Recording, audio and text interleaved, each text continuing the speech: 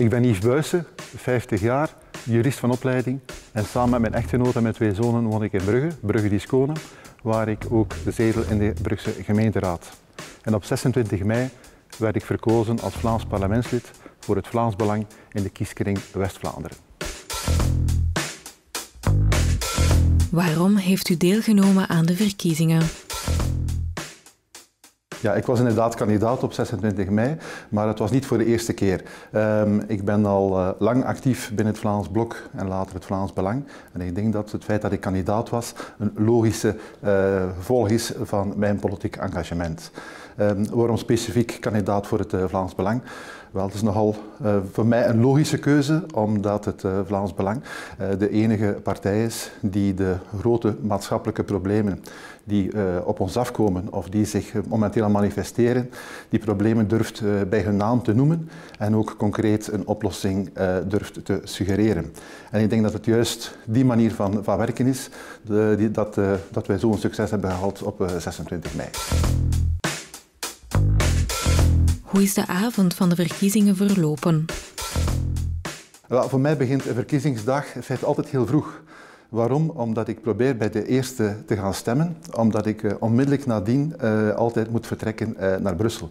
Ik ben al uh, ondertussen bijna 25 jaar verantwoordelijk binnen de partij voor de verkiezingsadministratie. En dan moeten wij zeker op de verkiezingsdag zelf een permanentie hebben in Brussel, zodanig als er zich ergens problemen voordoen uh, in stembureaus of in telbureaus, dat onze getuigen en onze mensen contact met ons kunnen nemen en dat wij dan in de mate van het mogelijk met kennis van zaken uh, informatie geven over hun rechten en hun plichten. Dus dat duurt dan tot tot drie, vier uur namiddags. Ondertussen komen ook de andere collega's van de pers- en de communicatiedienst eh, toe in Brussel. En een beetje later is daar ook altijd wel een belangrijk deel van de partijtop aanwezig. En dan samen met die mensen kijken we dan soms met een bang hartje uit naar de, naar de eerste cijfers, naar de eerste trends. En van zodra dat daar in feite wel duidelijkheid over is, en dat de, dat de partijvoorzitter weet wat hij zal zeggen, dan, is het, dan gaat de volgende stap richting de nationale bijeenkomst van de kandidaten waar de partijvoorzitter dan voor de pers en voor, voor de achterban uh, moet, uh, moet zeggen wat zijn analyse is uh, van de verkiezingen. en dan de laatste stap, ook klassiek denk ik voor de meeste kandidaten, is proberen nog uw achterban te gaan bezoeken. dat is ook dit keer gelukt. die waren al lang aan het feestvieren in Brugge voor ik, voor ik daar aankwam. Maar het is toch altijd leuk om op zo'n moment de zaak af te ronden die dag. Bent u tevreden met het resultaat? Ja, ik denk dat de meeste Vlaams Belang eh, parlementsleden een gelijkaardig antwoord zullen geven, want wij moeten weinig onderscheid maken eh, tussen uh, nationale resultaten, lokale resultaten, persoonlijke resultaten, want in feite over de Hanse lijn mogen wij zeer, zeer tevreden zijn, zeker nationaal. Ik moet zeggen, we wisten dat de wind goed zat. Dat voelt je aan in de campagne, dat voelt je op de markt aan, dan voelt je in de reacties op sociale media aan, dat voelt je bijvoorbeeld aan dat er veel meer mensen anders vragen om een volmacht te mogen afgeven, eh, om voor Vlaams Belang te stemmen. Dan weet je, de wind zit goed. Maar dat het zo hard zou waaien, ja, ik denk dat weinig mensen dat hadden gedacht. Dus nationaal was dat zeer goed, maar ook provinciaal. Want misschien een beetje ijdel zijn, maar ik ben ook provinciaal voorzitter in West-Vlaanderen. En in West-Vlaanderen hebben we deze keer de beste Vlaams Belangscore neergezet. Dus dat doet natuurlijk ook wel uh, extra uh, veel plezier voor onze mensen in, West-Vlaanderen. Uh, en dan mijn persoonlijk resultaat. Het zou ook ja, verwonderlijk zijn mocht ik niet tevreden zijn dat ik erbij ben. Ik stond op de derde plaats en ik had ook het derde aantal voorkeurstemmen van de lijst, dus was ik daar blij mee. En vooral was ik blij omdat ik in de campagne zelf feite niet echt aanwezig kon zijn te velden.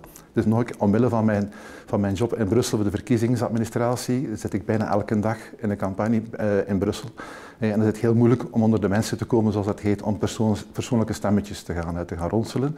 Dus, en ondanks het feit dat men mij niet zo heel veel heeft gezien, heb ik toch een goed, goede score neergezet persoonlijk. Dus dat doet mij natuurlijk ook veel, veel genoegen. Wat zijn uw verwachtingen over uw nieuwe functie? Ja, het is natuurlijk uh, wachten op, uh, op de samenstelling van de commissies, want ik weet nog niet welke commissie de partij mij zal toebedelen om te volgen. Dus van zodra men dat weet, kan men zich gaan inwerken. Want wij moesten allemaal aan onze fractieleider voorkeur geven. Ik heb, ik heb de drie W's voorgesteld. welzijn, wonen, werk ik heb gezegd van kijk maar waar ik best kan, kan aarden. Dat zijn de zaken waar die, die mij meest, meest interesseren, waar ik toch ook wel wat, wat banden mee heb met die, met die domeinen. Dus dat, dat logisch zou zijn dat men mij daar Maar nog een keer, ik heb alle vertrouwen in de wijsheid van de fractieleider. Ik ben uh, in, de, in, de, vorige leven nog senator geweest, dus ik weet wel een beetje wat er op mij afkomt.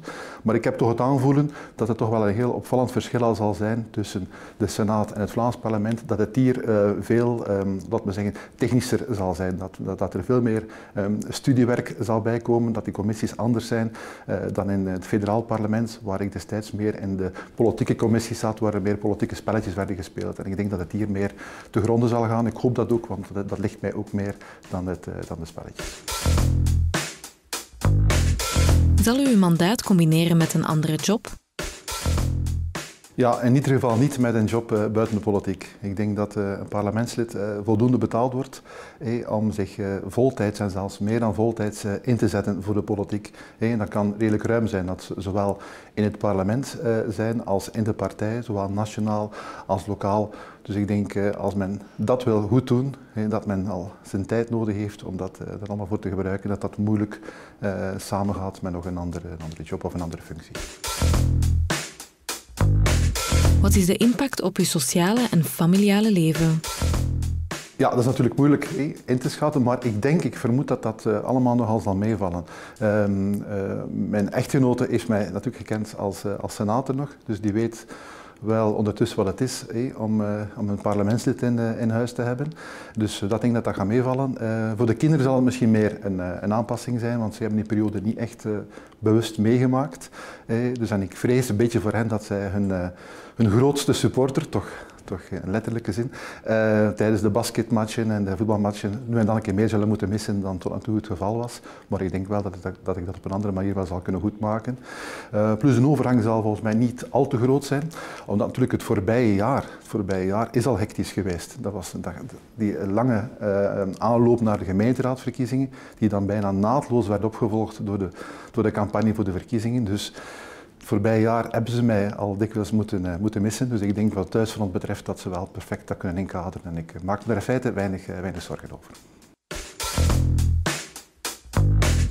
Waarop mag de kiezer u binnen vijf jaar afrekenen? Vanuit de oppositie is natuurlijk altijd uh, iets moeilijker uh, om concrete realisaties op uw naam te zetten. Dus dat, dat gaat moeilijk, dat weet ik. Dus daarom denk ik dat de kiezer vooral zal moeten kijken naar de, naar de totale inzet, de algemene inzet. Uh, en dat kan op verschillende manieren. Dat is bijvoorbeeld het, het, voor, het, verdedigen van constructieve voorstellen in het parlement, het proberen om relevante cijfers aan het licht te brengen, de, de, concrete parlementaire vragen te stellen van doelgroepen die vinden dat, dat er niet naar hen geluisterd wordt. Dus dergelijke zaken proberen aan bod te brengen. Dat is een beetje mijn, mijn doel de komende jaren. en waarschijnlijk technische dossiers. En ik hoop dat dat geapprecieerd wordt eh, binnen vijf jaar.